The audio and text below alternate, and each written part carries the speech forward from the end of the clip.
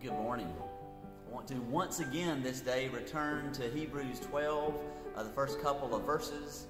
Let me remind you what those are. Therefore, since we are surrounded by so great a cloud of witnesses, let us also lay aside every weight and the sin that clings so closely. And let us run with perseverance the race that is set before us, looking to Jesus, the pioneer and perfecter of our faith. And I want us to think this day about that clause that tells us to lay aside every weight and the sin that clings so closely. Mentioned yesterday that when I am running a race, I have a little hydration backpack that I take with me, and it has water in there and some of the other things that I need for the race in there, nutrition and that kind of thing. But one of the things that I learned was to only put enough water that I think I'm actually going to drink in there uh, because every extra drop of water is that much more weight that I have to carry with me around the course. And my um, uh, pack will hold, I think, a couple of liters of water, and that's just way too much weight to be trying to run around a course. And so I usually have a liter or less of water in there.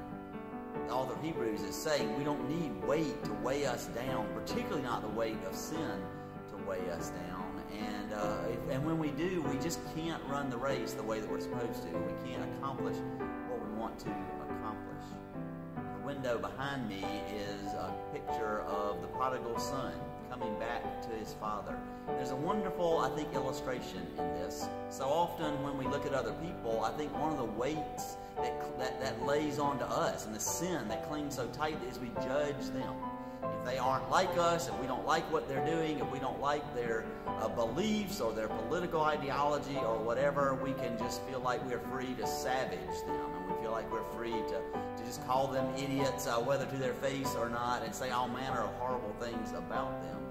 And yet, that is sin that has the opportunity or the chance of putting a distance between them and God. Think about this picture back there prodigal son's father does not condone the things that his son did.